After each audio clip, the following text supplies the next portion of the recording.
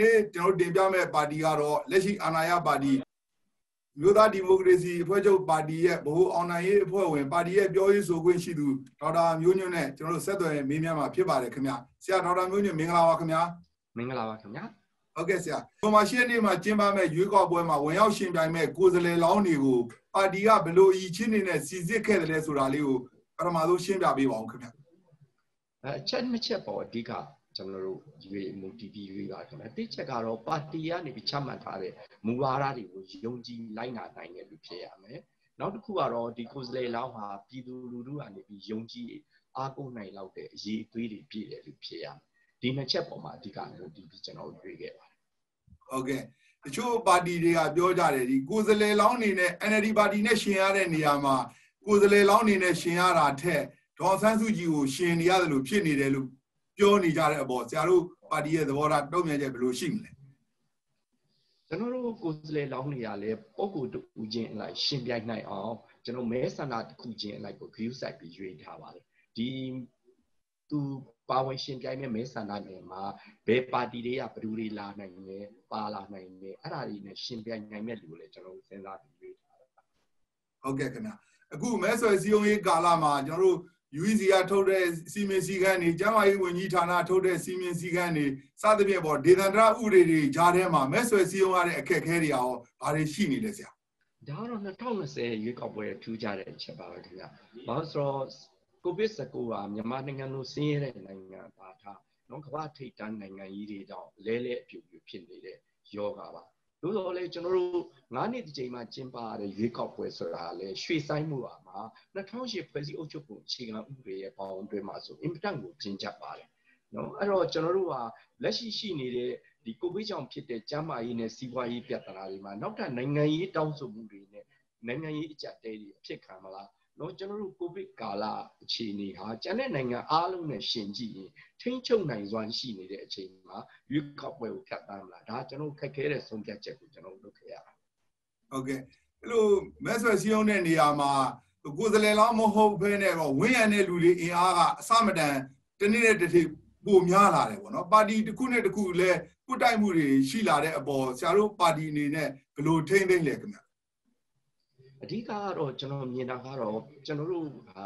ဒီရွေးကောက်ပွဲဟာတာမန်ပါတီချင်းရှင်ပြိုင်တဲ့ရွေးကောက်ပွဲမဟုတ်ဘူးစနစ်တစ်တစ်ခုကိုပြောင်းလဲဖို့အတွက်အရေးကြီးတဲ့နောက်တစ်ဆင့်ဖြစ်တယ်အဲ့ဒါကိုကျွန်တော်တို့ကပြည်သူကိုနားလည်အောင်ဘောပေါအောင်ပြောပါတယ်ပြည်သူကလည်းเนาะဒီစနစ်ပြောင်းလဲမှုဒီမိုကရေစီဖက်ဒရယ်ပြည်အောင်စုပေါ်လာမှပဲမြန်မာနိုင်ငံရဲ့ပြဿနာတွေဖြေရှင်းပြည်လဲသွားမယ်ဆိုတာနှစ်နှစ်ကာကယုံကြည်တဲ့အခါမှာ ပြည်သူရဲ့ပါဝင်မှုကကျွန်တော်ထင်တာထက်အစာပေါင်းများစွာများလာပါတယ်အဲ့တော့ကျွန်တော်တို့ကတော့ဒီတာမန်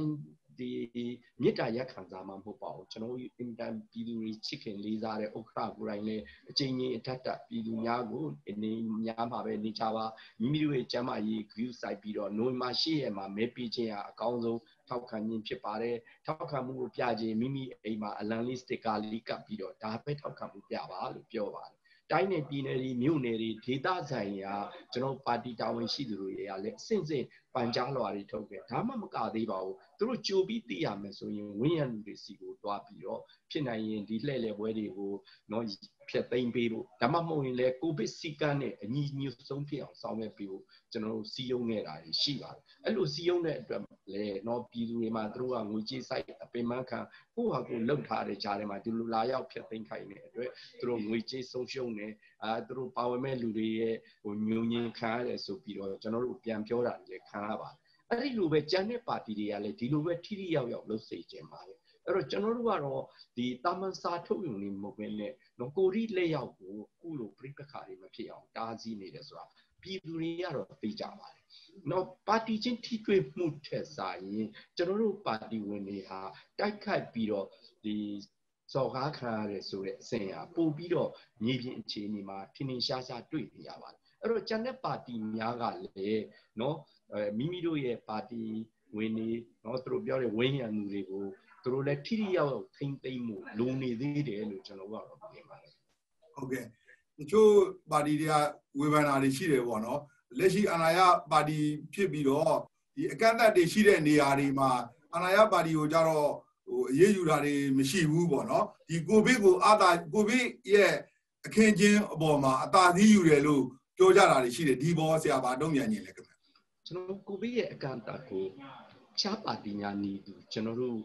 ပါတီဝင်တွေလည်းခံစားနေဥပမာဆိုရင်ကျွန်တော်တို့ဝင်ကြီးအခုလက်ရှိဝင်ကြီးဦးတန်းစင်မောင်ကိုယ်တိုင်ကဝလုံးနဲ့တာပြီးရွာထဲမှာဝင်ရဘူးလို့ဖြစ်เนาะကျွန်တော်တို့ကဒါ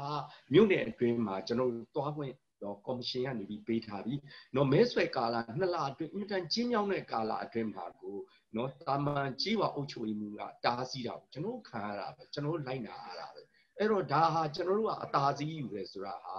ဒါဆွဆွဲတာပဲဖြစ်တယ်တားစီးတယ်ကျွန်တော်ကအထက်စီးရတယ်မှန်တယ် ဘာဖြစ်လို့လဲကျွန်တော်တို့ကလက်ရှိလွတ်ပိုင်ခွင့်ကိုသုံးချလို့မဟုတ်ပြည်သူရဲ့ထက်တန်တဲ့ဆန္ဒကြောင့်ကျွန်တော်အသာစီးရနေတာပဲဖြစ်တယ်လို့ပြောချင်ပါတယ်ဟုတ်ကဲ့ခင်ဗျလက်ရှိပြည်တော်စုရွေးကောက်ပွဲကော်မရှင်ကချမှတ်တဲ့စီမင်းစည်းကမ်းတွေအခင်းကျင်းတွေအပေါ်ရောအာရကျဉ်းနှံမှုရာနှုန်းပြအာရကျဉ်းနှံမှုရှိလားခင်ဗျဘယ်ဖွဲ့စည်းမဆိုရာနှုန်းကြီးတော့ကျဉ်းနှံမှုမရနိုင်ပါဘူးနော်ဥမာဆိုတော့မဲစီးနေမှားယွန်းတာတွေဟာနော်ဒါတော့အထိမဖြစ်သင့်ဘူးလို့ကျွန်တော်တို့ထင်ပါတယ်အဲ သို့တော်လည်းသူလည်းအကောင်းဆုံးကြိုးစားနေတယ်လို့တော့ကျွန်တော်တို့မြင်ရပါတယ်ဟုတ်ကဲ့ခင်ဗျနောက်တစ်ခါကျတော့ပါတီအွန်လိုင်းရဲ့အနေအထားကို2015လောက်အွန်လိုင်းမှမလားဆိုပြီးတော့ဟိုတန်တရားဖြစ်တဲ့အနေအထားတွေရှိနေတယ်ဒီဘောဆရာတို့ဘာတွေပြင်ထားတာရှိလဲခင်ဗျအာကျွန်တော်တို့ရွေးကောက်ပွဲဆိုတာကတော့ဗျာကျွန်တော်စံပွဲလို့ပေါ့နော်ပြည်သူရဲ့စန္ဒကိုမဲပုံးဖောက်မှသိရတာပါ အဲ့တော့ကျွန်တော်တို့ကတော့ဒီမဲမတမာမှုမရှိအောင်ကြိုးစားမယ်ကိုထောက်ခံတဲ့မဲဆန္ဒရှင်တွေတော့မှန်မှန်ကန်ကန်မဲပေးနိုင်အောင်ကျွန်တော်တို့ကြိုးစားမယ်တော့သို့တော်လေကျွန်တော်တို့နေမြေအသီးသီးရရနေတဲ့အစီရင်ခံစာတွေအရတော့ပြည်သူတွေရဲ့တက်ကြွမှုပါဝင်မှုဟာ2015ထဲတာလုံးပါတယ်အဲ့တော့ကျွန်တော်တို့တခြားအခက်အခဲစုံပြမရှိဘူးဆိုရင်2015ထဲတာလွန်တော့အောင်မြင်မှုရမယ်လို့ကျွန်တော်တို့ကတော့သုံးသပ်ထားပါဟုတ်ကဲ့ တိုင်းရင်းသား area တွေမှာအထူးသဖြင့်ငင်းချမ်းတဲ့တိုင်းရင်းသား area တွေမှာဆရာတို့ဒီလက်နက်ကိုင်အဖွဲ့တွေဒါကိုတိုင်းရင်းသားပါတီတွေနဲ့ပေါ့နော်ညှိနှိုင်းတာမျိုးတွေညှိနှိုင်းလှုပ်ဆောင်ရတဲ့ကိစ္စမျိုးတွေရောရှိလားခင်ဗျကျွန်တော်နိုင်ငံရေးပါတီဖြစ်တော့ဒီလက်နက်ကင်တိုင်းရင်းသားအဖွဲ့အစည်းတွေနဲ့ကျွန်တော်ကဓာတ်ရိုက်ဆွေးနွေးလို့မရှိပါဘူး။ဒါငြိမ်းချမ်းရေးကော်မရှင်မှာတာဝန်ယူထားတဲ့အဖွဲ့အစည်းတွေကတစ်စက်ဒီလမ်းကြောင်းကသူတို့ဆွေးနွေးခွင့်ရှိနေတာပါ။ဟုတ်ကဲ့အခုဆိုကျွန်တော်တို့တောင်ကုတ်က ကျွန်တော်တို့ရခိုင်ပြည်နယ်ရဲ့စီပင်ဝင်ကြီးအောင်ဦးမင်းအောင်ပါဝင်ဟိုကိုယ်စားလှယ်၃ယောက်ကိုကျွန်တော်တို့ဒီလက်နက်ကင်အဖွဲ့ရခိုင်လက်နက်ကင်အဖွဲ့ကဖမ်းထားတယ်ဒီကိစ္စကိုဆရာတို့ဆက်ညှိနှိုင်းဖို့ရှိမလားခင်ဗျကျွန်တော်တို့ကတော့နိုင်ငံရေးအရာနဲ့ကျွန်တော်တို့ဒီကျွန်တော်ရဲ့သဘောထားကိုထုတ်ပြန်ပြီးတော့ဒီသဘောပေါက်လာအောင်လုပ်ချင်တာနိုင်ငံရေးပါတီကနေလုပ်နိုင်တာဆုံးလုံးပါပဲခင်ဗျကျွန်တော်ပြောချင်တာကတော့ကျွန်တော်တို့ဟာနော် ပြည်တော်စုတစ်ခုလုံးအကျိုးအတွက်လုပ်နေတဲ့ပါတီဖြစ်ပါတယ်တခြားပါတီတွေတော့နိုင်ငံရေးစည်းရုံးဝင်ပေးပြီးတော့ NLD ရပါတီကပုံကိုယ်တွေစီယုံတော့မှဒါဥပဒေချိုးဖောက်နေပါတယ်ကိုပစ်ပြန်ပွားစေပါတယ်ဆိုပြီးတော့ဖမ်းဆီးလိုက်တာနောက်ဖမ်းဆီးုံမြတ်မကပဲဖမ်းဆီးတာနဲ့တပြိုင်တည်းရိုက်နဲ့နှိပ်စက်တာဒီအချက်တွေကတော့ကျွန်တော်တို့ဟိုမျိုးသားရင်ကြားစေတွေကိုထိခိုက်စေတယ်ပြည်တွင်းငြိမ်းချမ်းရေးတွေကိုလည်းအကျုံးမပြုဘူးလို့မြင်ပါတယ်အဲ့တော့ကျွန်တော်တို့ကတော့ democracy federal ကိုမဖြစ်မနေသွားမှာပါ ဒါကိုယုံကြည်လက်တွဲမယ်နော်ဖန်ဆီးထားတဲ့ကိုယ်စလေလောင်းသုံးခုကိုအမြန်ဆုံးပြန်လွတ်ပေးမယ်ဆိုရင်နော်ကျွန်ဒီသူတို့